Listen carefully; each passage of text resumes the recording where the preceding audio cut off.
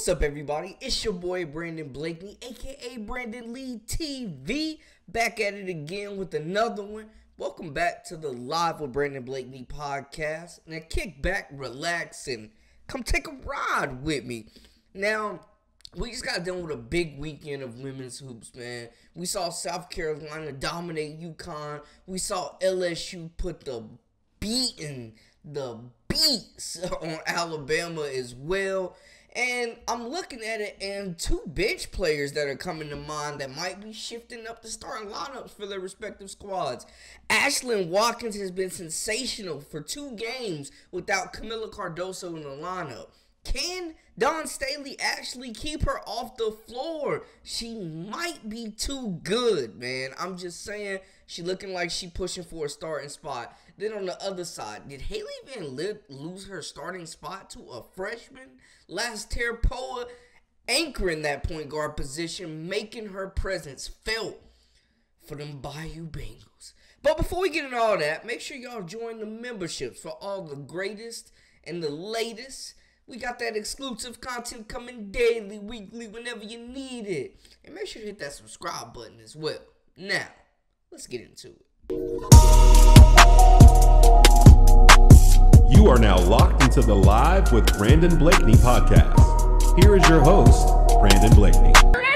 Hey, come on! When I say we was going to play no games today, we weren't playing no games. We came out hot. But coach, listen, got a whole other second half to play. Girls, let's get fired up. Let's go ahead and close this thing out. Coach, when I say I love you, I love you. South Carolina defended their home court against Geno Auriemma and those UConn Huskies almost beat them by 20. And we just saw the Phoenix, the rise, the stardom, the superstardom of Ashlyn Watkins, man, on both sides of the basketball. We've seen it in flashes. We've seen her being able to come off the bench and block all types of shots. She's dunking the basketball. We know she's an athlete and just one of the most athletic players to come through South Carolina. But with her presence on both sides of the floor, being an elite shot blocker, showing that she can hit the mid range, she's finishing in transition, finishing amongst the trees, taking on contact, using that frame. She's physical, and we're just witnessing something special. Now, it felt like we were getting a preview of the future of South Carolina. I mean, we're looking at it like, could this team be even better next year? But now, with the way Ashlyn Watkins is playing, do you mess with that? Can you have her on the bench now?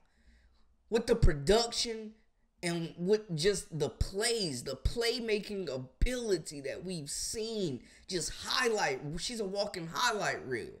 Just spectacular. She's a show. She's a one player show. Now, can you put her back on the bench respectfully?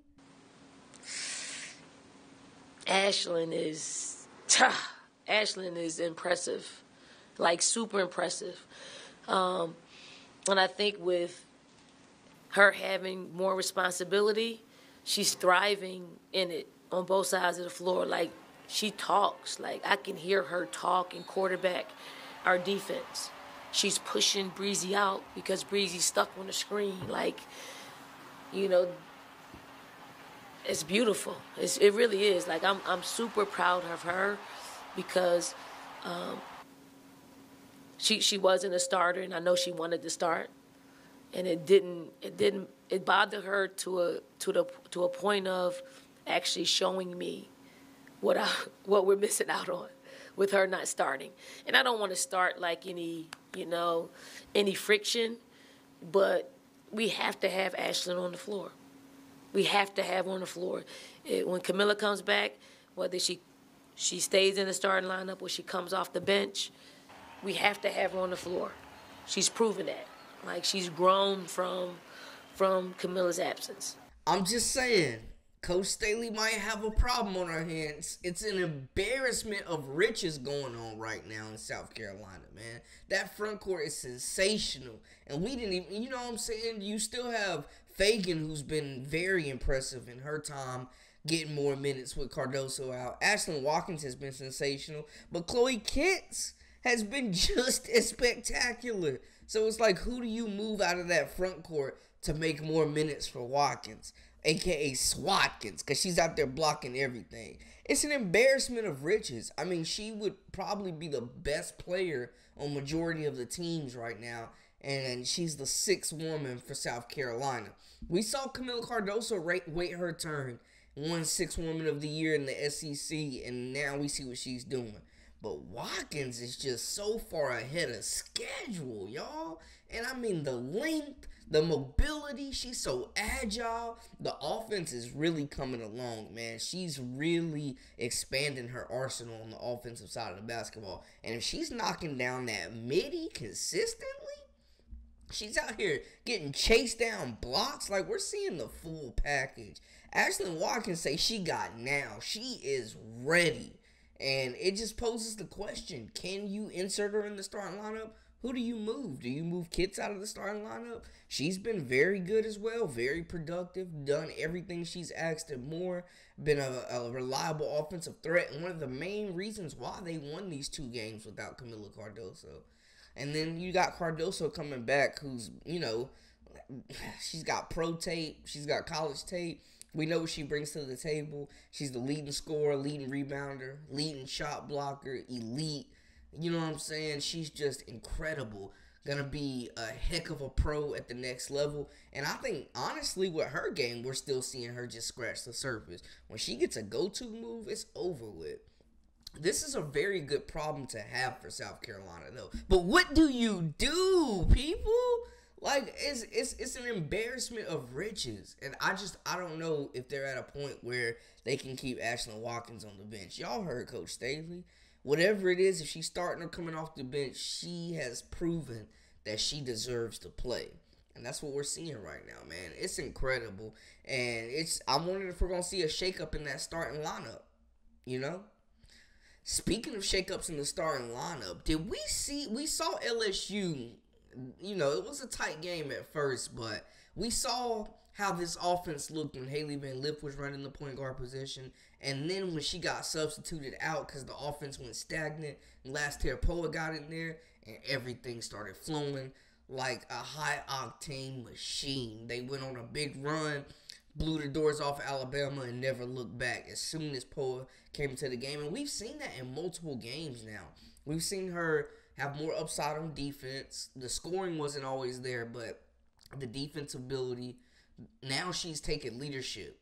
You know what I'm saying? There was times where they were kind of razzled, and she takes the ball up top, settles everything down, gets LSU into their sets. As a freshman, that's something that we're not seeing from Hailey Van Lith, who came to play the point guard position here. And we saw her lose a lot of minutes to Last-Tear Poa in that last game. And Poa had a heck of a game, man. This was probably her best game of the year, finishing with 11 points, four assists, six rebounds, pacing LSU, man, with the assist. Angel Reese had six as well, but as far as the guards, you know what I'm saying? Poa uh, pushing the pace, and she played 30 minutes compared to Hailey Van Lith's 20, who struggled in this game. Six points, one rebound. Like she, her shot wasn't falling like that.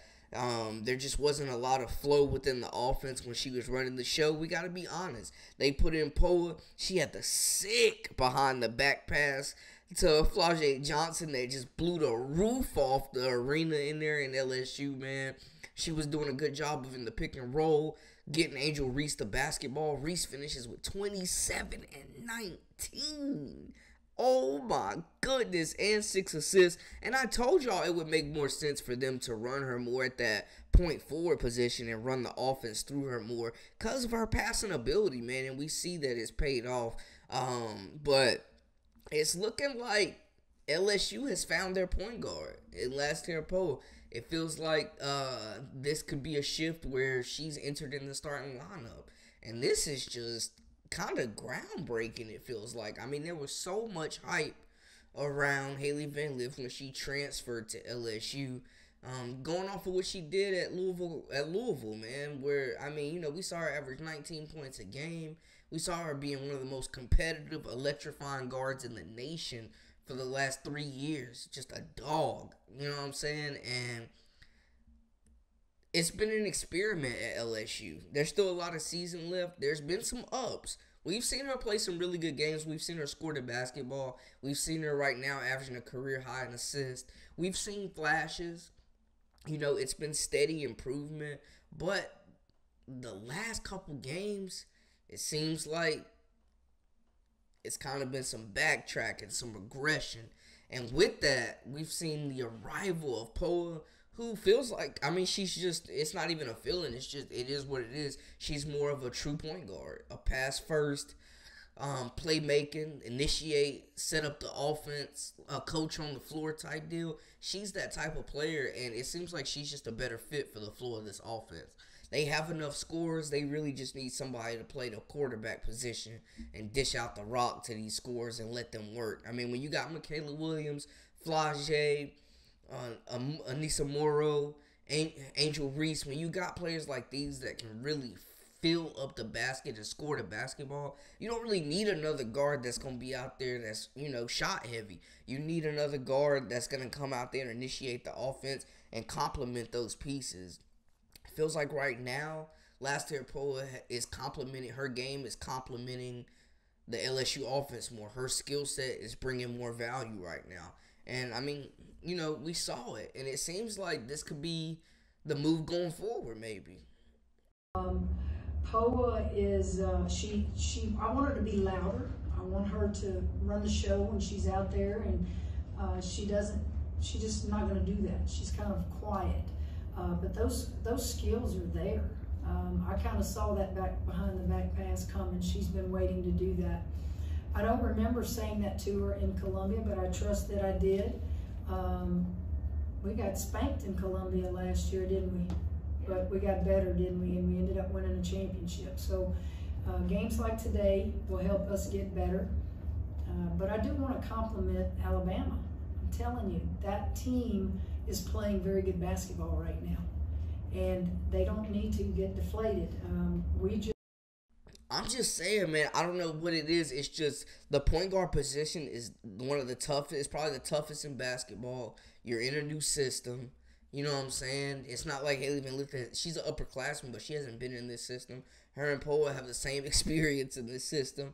You know what I'm saying? Um, but it just seems like her Poa's skill set is just more fit to succeed with this team. And maybe you bring Hailey Van Lith off the bench, which a lot of you have been saying in the comments. Maybe you bring her off the bench and she provides that scoring punch. Now, I know she came there to learn how to run a team and to harness that skill for the next level and to up her draft stock. Um, you know, she's talked about wanting to be challenged and coming into LSU to compete. And now she's finding herself really competing for not only minutes, but for that starting spot, it feels like. Because, man, I just don't know if you can revert back. I mean, they were in danger of potentially losing this game. Poa comes in and completely changes the trajectory of this offense, steals the momentum. Um, she's a playmaker and she's now scoring the basketball. That was something that we weren't seeing her really do. It seemed like she didn't really have confidence in her scoring the last few games, but we've seen that she can score the basketball. She is a scoring threat, and you know she can keep the defenses honest if they don't respect her. So I think this is big though. It's a big. This is a major, major development, y'all. This is a major development, and I think it will be something to keep an eye on moving forward. How both of these lineups are uh, are impacted. To be honest with you, we're talking about two of the best teams in the nation.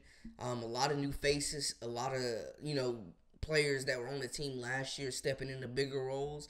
And on, you know, there's some transfers that are taking on some major roles too, and some freshmen that have come in and are making some noise. You know what I'm saying? But it just might be time for a switch, especially in LSU's case. It might be time for that switch. We've seen Hailey Van Lith do her thing um, through a bulk of the season. You know, she's been at the point guard position, and like we said, there's been some ups, there's been some downs, and it's expected to be some growing pains when you're in a new system like this.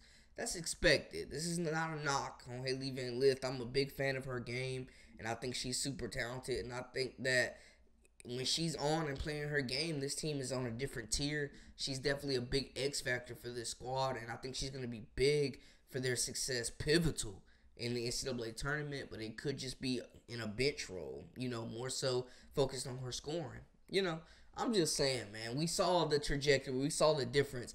Yeah, man. Poa was like a breath of fresh air for that LSU offense, man. And they looked good. They were rolling. Uh, the chemistry, the assists, moving the basketball. I mean, it looked good, man. I don't know. We'll have to keep an eye out. This is developing on both sides of these stories. But y'all let me know how y'all feel in the comments, man. Holler at your boy.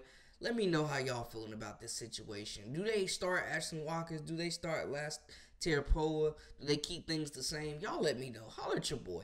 That's a wrap for us. For all the latest and the greatest, I am Brandon Blakeney, aka Brandon Lee TV. Until next time, hey, we out.